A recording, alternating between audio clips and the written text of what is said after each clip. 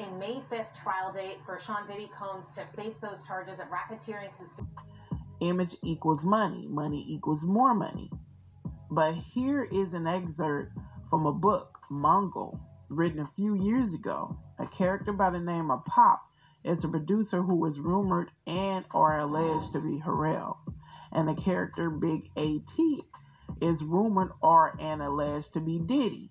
Here's an excerpt. I'm going to censor the um the more adult words. When you put your heart and soul into creating something, you want it to make an impact, to endure, to express something. I ain't saying all of them effed or suck some penises to get to the top, but a lot of them have and continue to do so. Trust me. There's always some new, young, fresh, wide open, roughneck thug who is willing to do whatever it takes to get a record deal, a movie role, or some press. Some even think they are smarter than the next and they will get by without having to deal with a gay brother.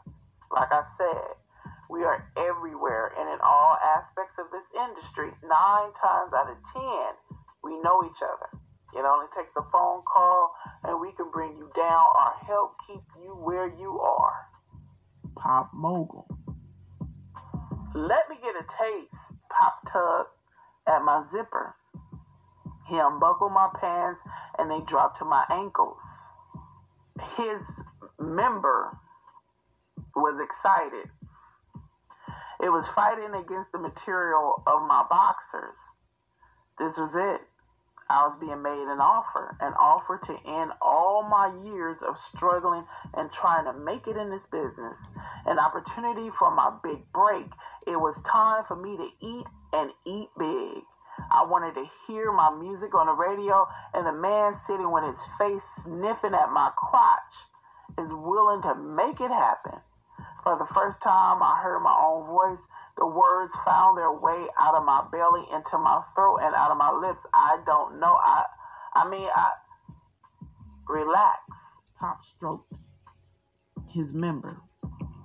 We will work everything out. This is between you and me.